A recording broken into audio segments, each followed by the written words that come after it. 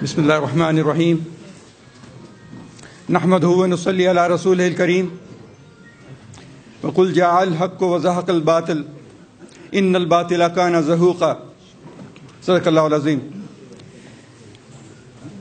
Time is short, but in obedience to the order of my elders, I would like to present very briefly and ask you to give your attention to the events which took place just under a year ago, when in Gaza, absolutely revolting, anti human actions took place when Palestinian brothers were treated in a way which cannot be described.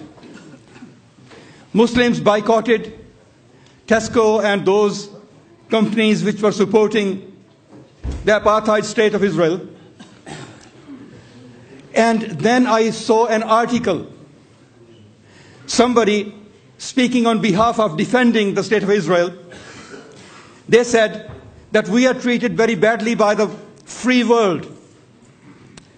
We are ha- having to face every day missiles coming from Gaza. 3,000 missiles drop on us. And we take action very surgically and in a very humane way. We drop leaflets and say that vacate your areas because we are going to attack. But the world criticizes us. When I read that, I said, what a way of twisting the facts. There was no mention that the enclave of UNO, where people were protected, bombs were dropped on it. Hospitals, where there were children and sick people, bombs were dropped on it. But this manner of twisting the facts and the one who is inflicting injustice is claiming to be innocent. Where is this injustice coming from? Then I read Mirza Masroor's speech. He's saying that the ulama and the mullahs are infl- inflicting injustice on us. We are the innocent party. I saw such parallel that whoever designed the speech of somebody protecting Israel must have devised the speech of Mirza Masroor.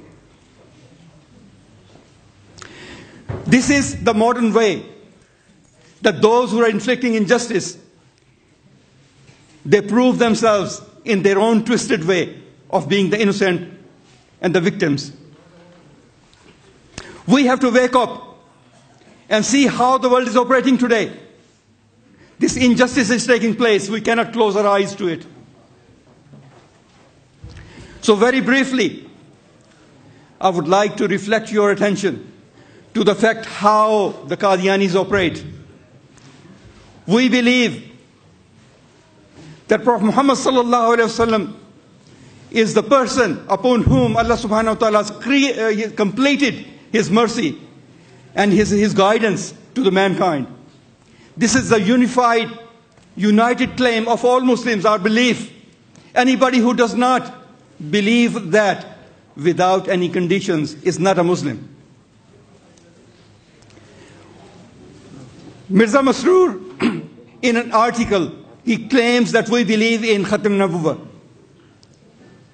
He says that all Muslims believe that prophethood has been completed upon Prophet Muhammad and we do so as well.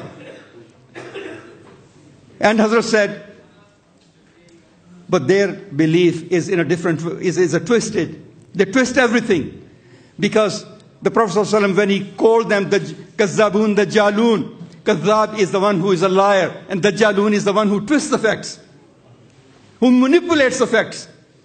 In this manipulation, the Qadianis are saying they are the victims and they are the innocent party.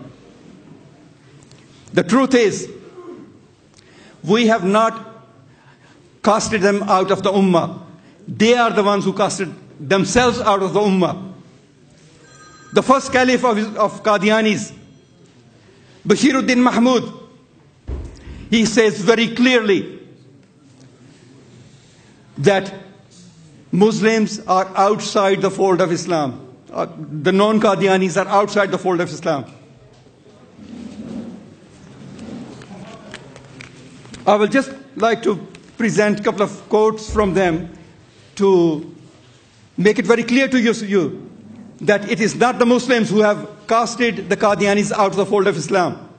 It is their own beliefs which have casted them out of the fold of Islam. This is in Urdu I'll speak in English so I will try to translate it as our duty یہ ہمارا فرض ہے that the non Ahmadis should not be considered as Muslim غیر احمدیوں کو مسلمان نہ سمجھیں یہ ہمارا فرض ہے کہ غیر احمدیوں کو مسلمان نہ سمجھیں کیونکہ وہ ایک نبی کے منکر ہیں استفر اللہ العظیم and Mirza Masroor says that we do not dispute the finality of Prophet Muhammad sallallahu. If he is the final prophet, then who is Mirza Qadiani? Mirza Qadiani himself declares very clearly what his status is. But uh, before I do that, this is from Anwar Khilafat, this Mirza uh, Bashiruddin Mahmud's statement that I just translated.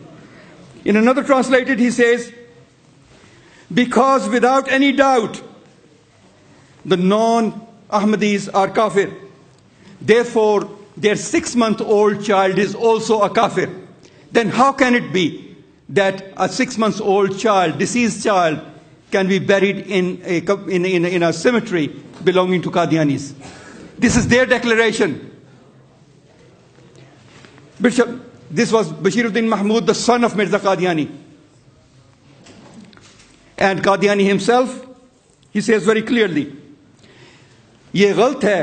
کہ دوسرے لوگوں سے ہمارا اختلاف خدا کی ہمارا خلاف وفات مسیح اور صرف چند مسائل میں ہے۔ This is this is untrue that our dispute with the non Ahmadis is only based on the life of مسیح علیہ السلات وسلام اور ا فیو ایشوز اور dispute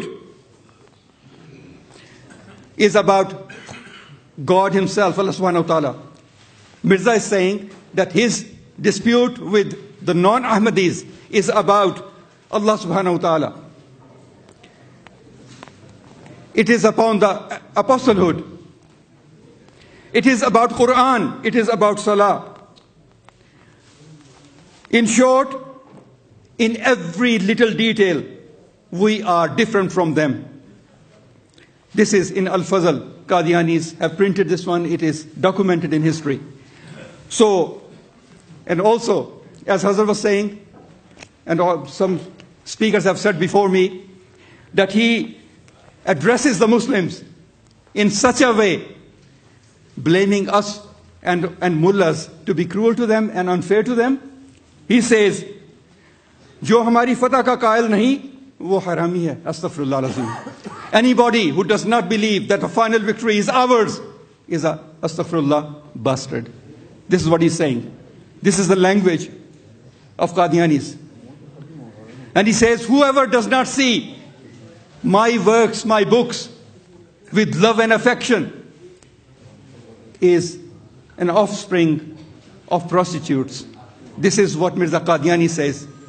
So, my dear brothers, I would like to sum up that it is not the Muslims who have rejected Qadianis from the fold of Islam. It is their own beliefs, it is their own revolting beliefs, revolting language, it is their own revolting actions. They have casted themselves out, and in these words I've presented before you, it is absolutely clear that the Qadiani caliphs, they have separated themselves from the fold of Islam because they have made it very clear that if we are Muslims, they are not. If they are Muslims, we are not. Astaghfirullah azim.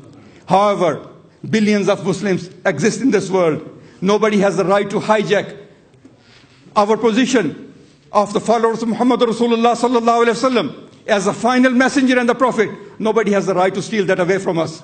So may Allah subhanahu wa ta'ala keep us Muslims, keep us on the belief that Muhammad Rasulullah sallallahu alaihi wasallam is the final prophet, and may Allah subhanahu wa ta'ala keep us in his service. I finish on this. Jazakumullah khair.